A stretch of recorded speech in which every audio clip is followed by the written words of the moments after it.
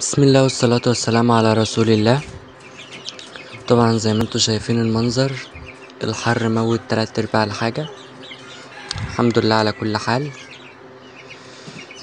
وربنا يعدي الأيام دي على خير لأن الموجة شديدة جامد. يعني الله يكون في عون الطير والحيوان بصراحة. يعني أنا صحيت الصبح عشان المفروض اعلف لقيت المنظر ده الدكر والنتاية ماتوا. من غير اي سبب مع إن عندهم الأكل والمية وكل حاجة بس الحر كان جامد. يعني درجة الحرارة عندنا في المنصورة عالية جدا. يعني إذا كنت إحنا بني آدمين مش طايقين نفسنا ما بالك بقى الطير أو الحيوان. فعشان كده يا جماعة اللي بيربى على سطح أو أي حاجة يا ريت يعني يحط الطيور في أوضة على الأقل أو أي حاجة لها سقف عشان الشمس ويحط لهم مية ويا ريت المية تكون في حاجات فخار عشان المية تفضل ساقعة لمدة طويلة لأن الألمونيا والبلاستيك والحاجات دي بتس- بتسخن المية. ولازم المية بقى تتغير كذا مرة في اليوم لأن المية بصراحة بتبقى سخنة قوي. ودي الفراخ. يعني الحمد لله ما حصلش فيهم أي حاجة وقدر الله ما شاء فعل. قضاء أخف من القضاء والحمد لله يعني ربنا يعوض بالأحسن. الفراخ دي بقت عمر خمسين يوم أو اتنين وخمسين يوم.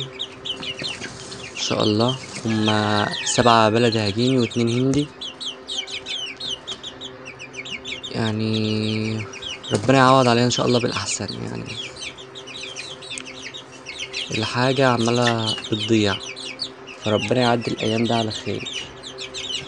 بس المية يا جماعة المية المية المية. أهم حاجة المية.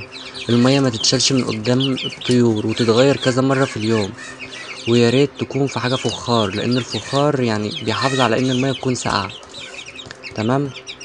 الألمونيا والبلاستيك والحاجات دي بتسخن المية جامد إحنا نفسنا مش طايقين أي حاجة. يعني والله ما أنا عارف أقول إيه لأن المنظر سد نفسي على الصبح. الفراخ البلدي أهي.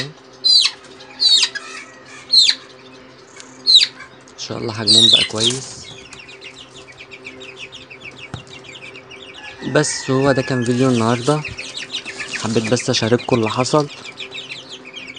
آه يا ريت لو انت لسه بتشوف قناتي لأول مرة تعمل اشتراك أو subscribe.